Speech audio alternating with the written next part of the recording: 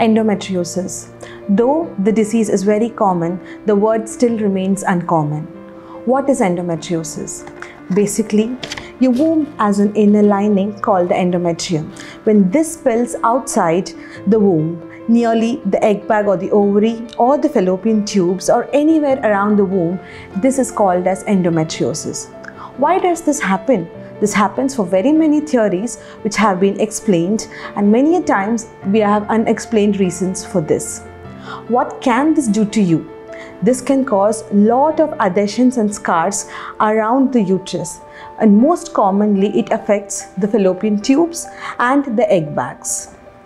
It is seen that in almost 50% of the couple who cannot conceive, the woman is known to have endometriosis.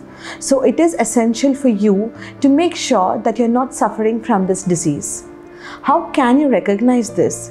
You might have severe pain in your lower tummy. The pain can be very common in your periods or when you try to get intimate with your partner, there can be shooting pain lower down. You can go to your doctor if you experience any of these symptoms. She might do an examination to rule out this condition and we also have other additional tests like a scan or an MRI which can diagnose this for you. And once you're diagnosed, do not panic about it. There are a wide various treatment options available. Starting from medical therapy, which involves drugs to relieve your pain or some hormones to control the disease. Even keyhole surgeries like laparoscopy are proven to remove large endometriomas. The common term that you hear is called as the chocolate cyst. March 1 to 31 is celebrated as the World Endometriosis Awareness Month.